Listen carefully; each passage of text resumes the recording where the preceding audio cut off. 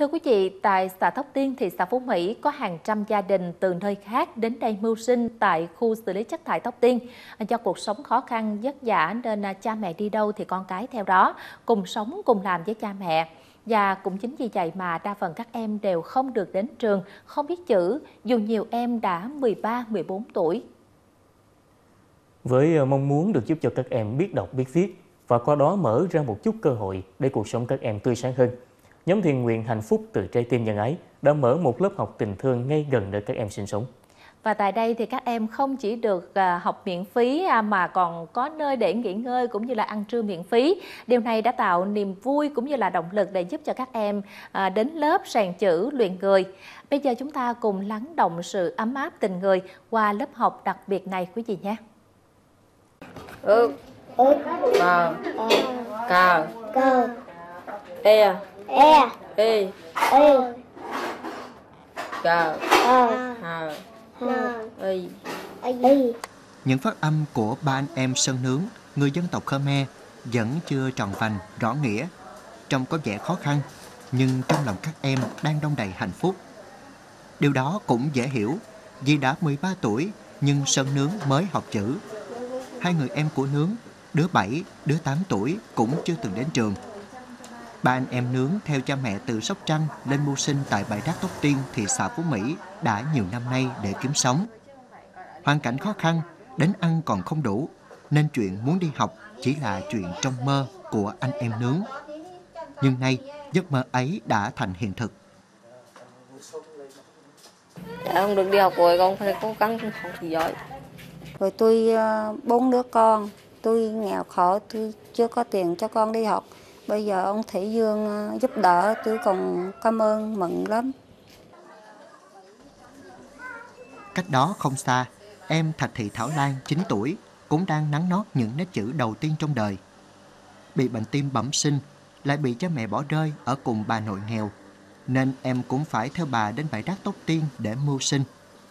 Rất thích được đi học, nên khi biết tin có lớp học tình thương, Thảo Lan là người đầu tiên xin đăng ký. Con rất muốn đi học nhưng mà cha mẹ con rất nghèo nên không được đi học. Hôm nay con rất được đi học con rất là vui. Con sẽ học thật giỏi để kiếm tiền nuôi em và nuôi cha mẹ. Theo khảo sát sơ bộ của Ủy ban Nhân dân xã Tóc Tiên, trên địa bàn xã có hơn 30 trẻ em từ 6 đến 14 tuổi không biết chữ. Hầu hết đều là con em các gia đình từ các tỉnh miền Tây đến bãi đá Tóc Tiên mưu sinh. Trước tình trạng này, nhóm từ thiện Hạnh phúc từ trái tim nhân ái gồm các thành viên đến từ thị xã Phú Mỹ và thành phố Hồ Chí Minh đã quyết định mở một lớp học tình thương để dạy chữ cho các em. Lớp học được xây dựng trên phần đất gia đình anh Quách Bình Dương là trưởng nhóm. Chỉ tính riêng việc xây dựng lớp học và chuẩn bị cơ sở vật chất bước đầu đã là hơn 700 triệu đồng, từ nguồn tiền do chính các thành viên trong nhóm đóng góp. Tất cả anh em là cùng đồng lòng và thông qua địa phương thì địa phương cũng đồng lòng và phụ huynh các thứ ở đây là tất cả mọi người nói chung là đều đồng lòng là là, là hướng tới là mở được cái lớp này thì rất là tốt. Nên là nó cũng là cái động lực là để là, là mình mở cái lớp này. Đấy, mình mở cái lớp này là cái điều mong muốn là muốn cho các em là thứ nhất là biết được cái cái cái, cái, cái con chữ đấy và tính toán cơ bản về là môn văn và môn toán. Cái thứ ba là cái đạo đức ngay ngày khai giảng năm tháng 10 vừa qua, lớp đã có 16 em tham gia và chỉ một ngày sau đã có 22 em theo học. Lớp học được duy trì hai buổi một ngày, từ thứ hai đến thứ sáu hàng tuần. Để thu hút động viên các em đến lớp theo lớp, nhóm từ thiện Hạnh phúc từ trái tim nhân ái đã hỗ trợ sách vở, đồ dùng học tập và bữa trưa miễn phí. Ngay lễ khai giảng, các em còn được nhận 200.000 đồng để may đồng phục và nhiều phần quà khác từ các mạnh thường quân. Đa số các con mời đến thì không biết chữ, chưa biết một con chữ nào cho nên là đến ở đây thì đầu tiên thì à, à, cô giáo cùng các cái mạnh thường quân là sẽ có kế hoạch là cho các con học cái mặt chữ trước.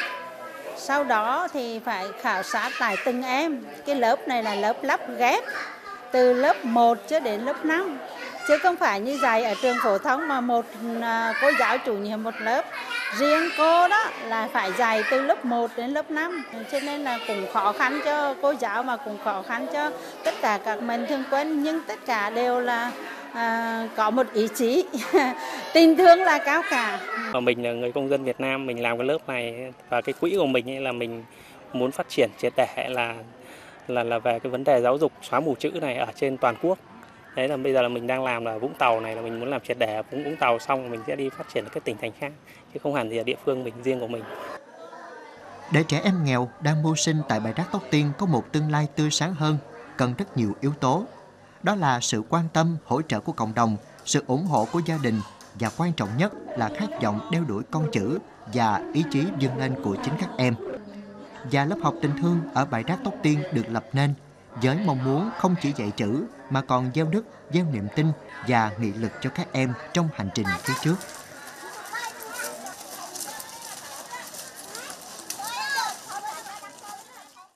Câu chuyện về lớp học tình thương của nhóm từ thiện hạnh phúc từ trái tim nhân ái vừa rồi thật là đáng trân trọng phải không thưa quý vị?